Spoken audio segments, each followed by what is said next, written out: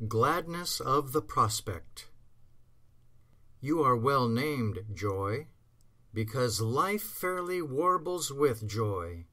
In you are life on exhibition, walking to and fro in the earth. In the movies, you see glorious girls on parade, displaying gorgeous clothes. Mannequins, they are called, are they not? They just dazzle a fellow and are intended to do so. Well, you are on parade in this world, showing forth the glories of one endless life. For life insists on living and on being made visible. There is a quietness and a calmness about life, a certain indifference to any opposition or interference because life has all the power there is and all the presence, and well does life know this.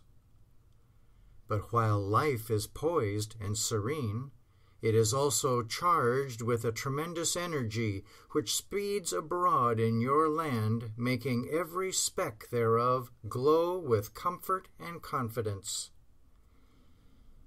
And life never thinks of coming or going Life is content to be, and of course to be all there is.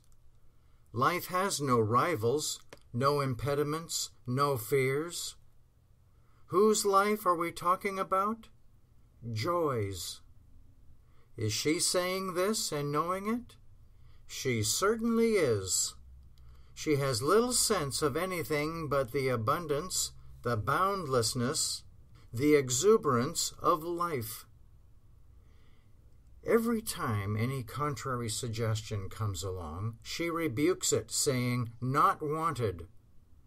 Well do you know that there is nothing back of such suggestions, no mind, no urge, no will, nor is there any mentality to accept those suggestions, feel them, or experience them. The goodness of the governor of the universe is such that he could not dream of permitting one of his people to entertain a single alarm or distress. You know that right now he holds you in his ample palm and will not let anything or anybody except Santa Claus get within miles of you. Reach right down now and take hold of your bootstraps and pull yourself together. Then strut and purr and delight yourself in the everlastingness of life. I think you love God and serve Him at the very height when you have a good time and fill yourself with joy. I am sure that He has purposes for you and that an outstanding purpose is that you shall have those years your heart desires and has desired all these years. Do not let the reformers torment you. Your name has not been entered in any black book.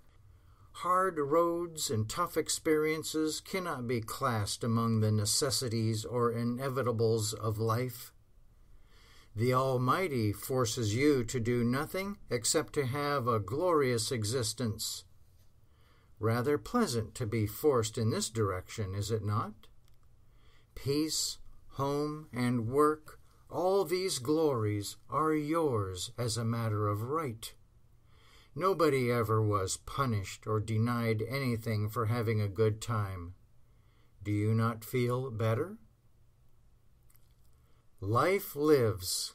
Actioning and functioning inhere in it. It searches every part of your economy, sustenancing, vitalizing, and strengthening every fiber. There cannot be any torpidity in life or any hindrance to its free operation in any area of your system. You were well made in the beginning and that well madeness can never be interfered with. You are whole, sound, intact this very moment, and you feel the thrill and vigor of life to every extremity.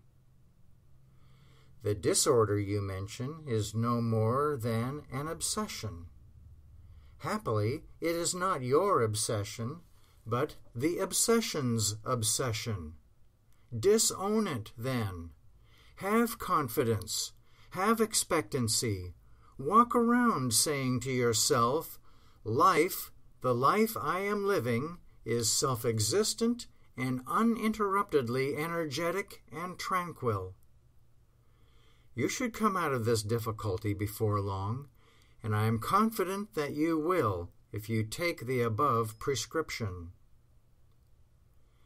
You are bound to increase in strength and confidence because you are recognizing hour by hour that the Almighty is in the midst of you, which means that you are admitting the almightiness of health and life itself.